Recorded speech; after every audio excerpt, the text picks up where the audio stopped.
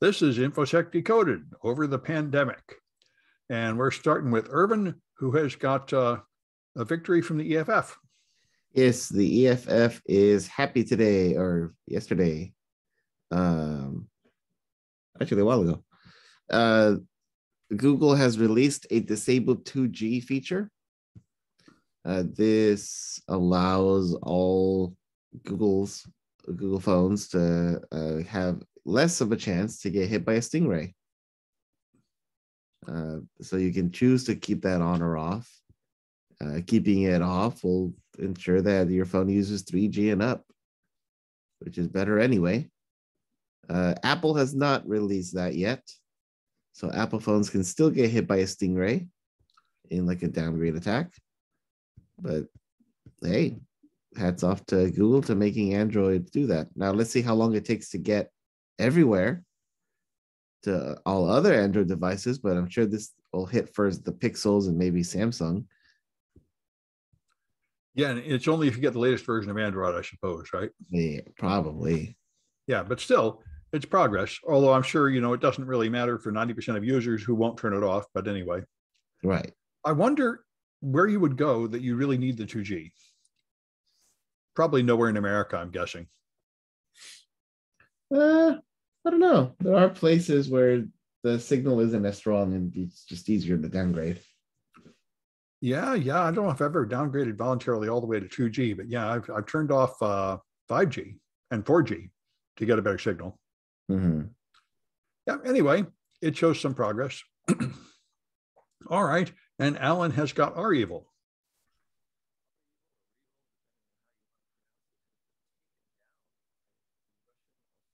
oh. Are you there, Alan? Not hearing anything.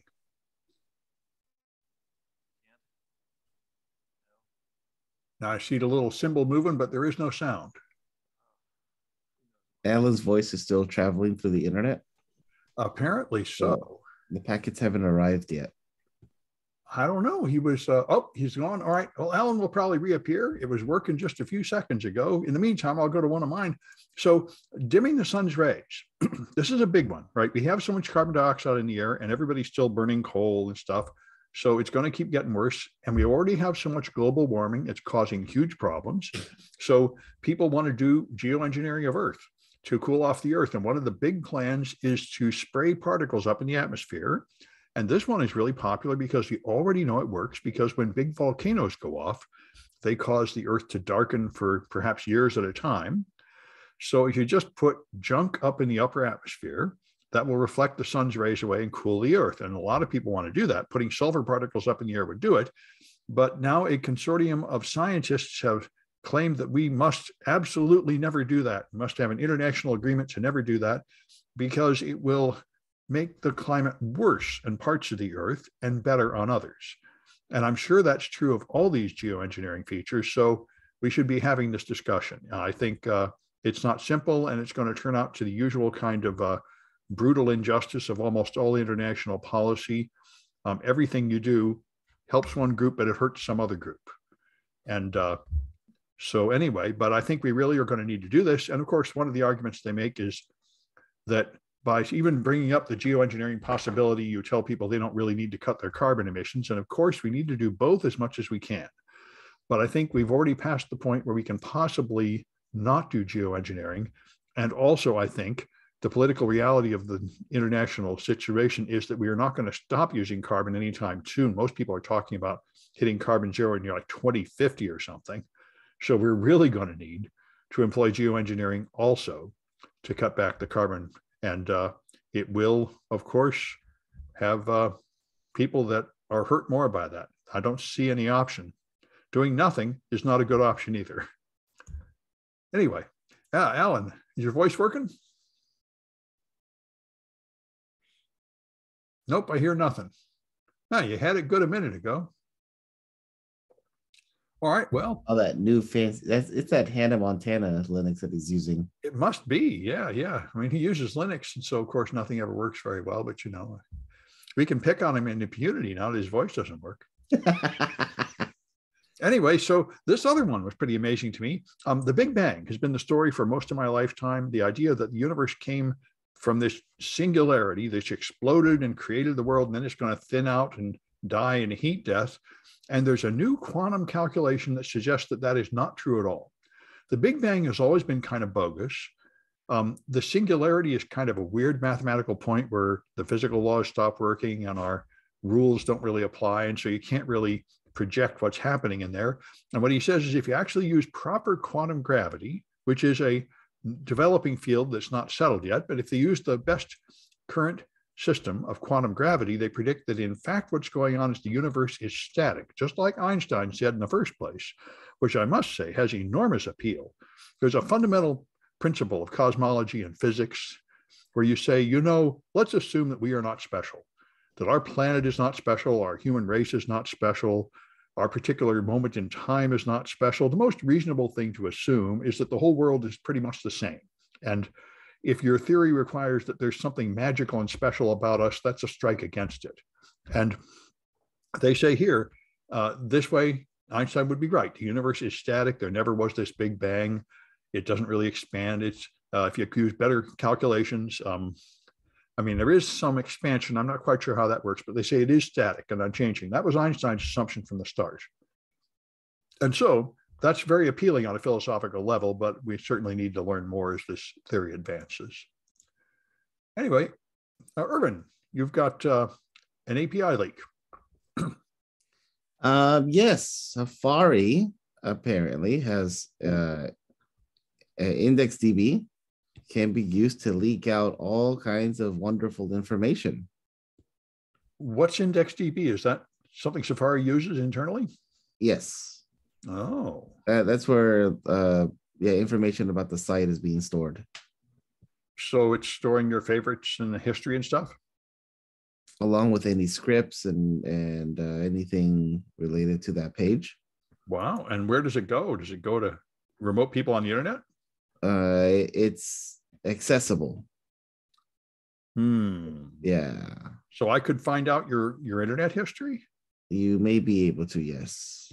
Hmm. And it and it uh, it still applies when you use the the private browsing. Yeah, you can still do that through uh, cross origin resource sharing. I've always wondered if that private browsing actually does any good. Yeah, apparently it doesn't. So they can find your Google account anywhere of any visitor. Mm-hmm. That's a pretty good example of something they shouldn't be able to get. Right. So did Safari patch it or anything? Uh, they're still patching. Mm-hmm. The patch hasn't been released. They just said they're working on on the bug. Yeah, well, that does sound pretty exciting. All right. And uh, anyway, I, I thought this was very interesting. Um, they measured people's political party preference. They asked them uh, if you are Democrat or Republican, or if you're independent, if you lean Democrat or Republican. And they've shown that in 2021, there's been a huge shift by like 15 points. People used were like 10 points in favor of Republicans. Um, no, 10 points. Democrats were 10 points up at nine points up at the start of the year, and now they are five points under, which is what anybody can tell you this year of Biden's presidency has been a disaster for the Democrats. An enormous number of people have turned against the Democrats. But that's one way to look at it. But I think a much more productive way to look at it, which is what Andrew Yang says, is that every for the last 10 years, the number one party in America has been independent. Everybody is pretty much fed up with both the Republicans and the Democrats. Um, right now, 42% of people are independent, only 29 and 27% are Democrat and Republican. And I think, you know, that's why I'm I like the idea of a third party. And that's where Andrew Yang went, which I, I think he's right about that. I mean, this is garbage. I think what we found out is that Republicans are terrible and the Democrats are not much better. And we really would need another choice. that's what I think is the main message here. And, you know, people say it's very unjust. You know, why do people hate Biden even more than they hated Trump? He's not that bad. And I agree. He's better than Trump, but he's not what we were hoping for. He's still very far from what we need all the Congress does is be paralyzed and not pass any of the bills we need. And they do a lot of fighting over garbage and they make a lot of promises and then they don't keep them. And I think most of us have just had it with both of them doing all this garbage instead of running a good government.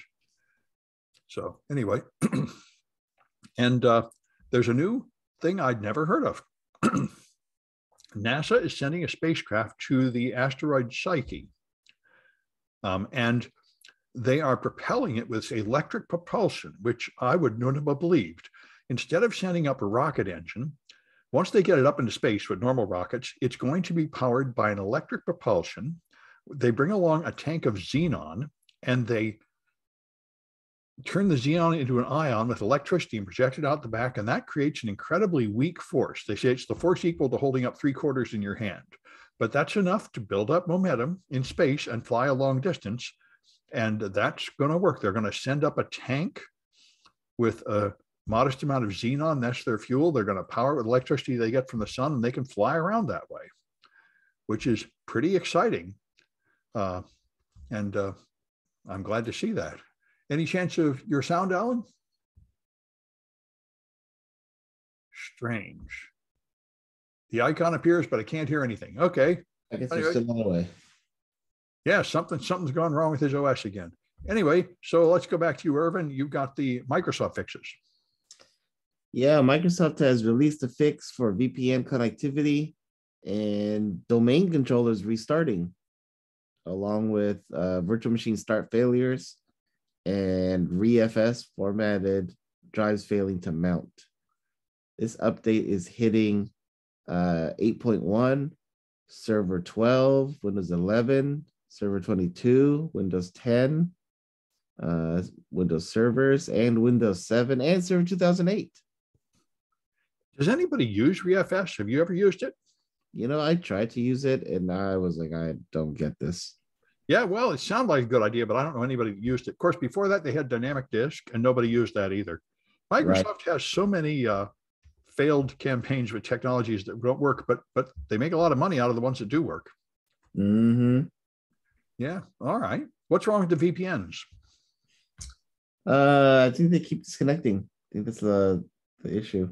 Oh, okay. Fair enough. Well, I just thought my next article was from that same list. They have an RDP bug in this one which is pretty exciting.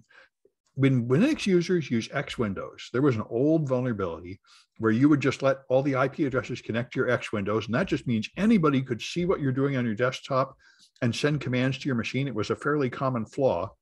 And RDP seems to have the same problem because of kind of a cute system. RDP has these things, um, Microsoft Windows has these things called named pipes, which are like listening TCP sockets, but they're using names instead of addresses. And so what happens is when you connect to an RDP server, it opens a named pipe with a certain name. And then when you connect, it connects you to the named pipe, but it doesn't keep track of which named pipe it opened for your connection. It just um, creates a new named pipe. And then when you connect, it connects you to the most recently created named pipe with that name. So it's got a race condition. So all you have to do is create an extra named pipe at the right time, and the user will connect to you instead of to the real server.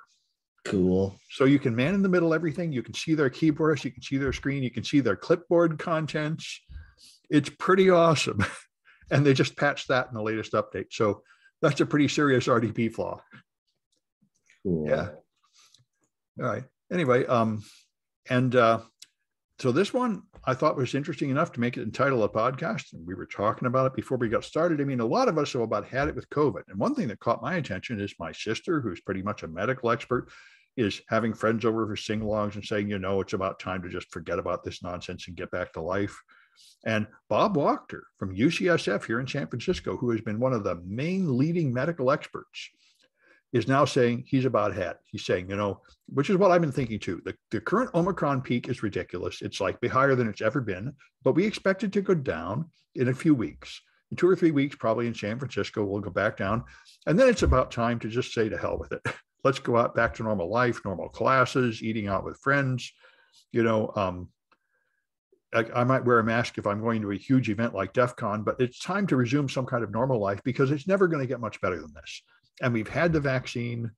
And I think most of us have probably also had COVID too. I think I've had COVID and the vaccine. And at some point, you just have to say, you know, unless I'm going to hide my life, house for the rest of my life, we just have to resume normal life. So, um, even the medical experts are saying that. So, I think uh, I'm hoping in a month or so we can get back to normal life, and next semester we can have in-person classes. Not that I have any say in it, but I think everybody's had it with this eternal lockdown forever. Um, we just need to live with it. Anyway, we'll see what happens to that. But a lot of people who you'd expect to be the most cautious are beginning to say, you know, we can't just keep up this lockdown stuff forever. Mm-hmm. And I know you've you've begun doing some social things, Irvin, which which I think is probably wise. You might as well. I mean, it's never going to get better. Although waiting a few weeks right now might be good because of Omicron being ridiculous, but you know, um, you do it, you did get the vaccine. way of life, like with the flu. What's that? That's just going to be a way of life, like with the flu. Well, I think so, and you know, hopefully, yep. At least we have the vaccines now, and now we even have therapeutics, so people get it, they can get treatment. So you know, that's why they said people said it would be wise to wait a few weeks because right now we don't really have the therapeutics.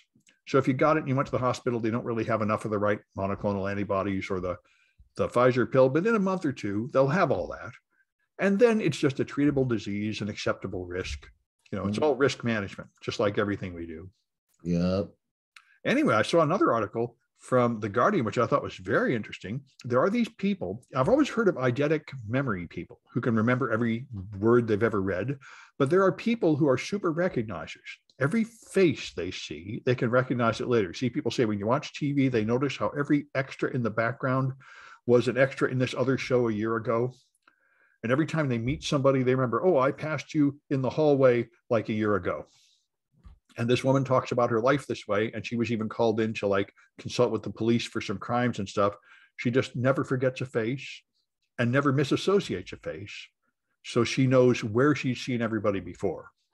And it's an interesting little uh, another mental extreme i was not aware of but it makes a lot of sense. I mean the neurology from years ago showed that you have special cells just to detect faces we have evolved to be very good at that because it's really important to us to recognize you know your family and your enemies and stuff. And some people just have that ability to a higher degree. And i thought it's very interesting to find out what it's like and uh, how what it's like to live with that kind of condition. Hmm. anyway that's it for this one and we'll be back on friday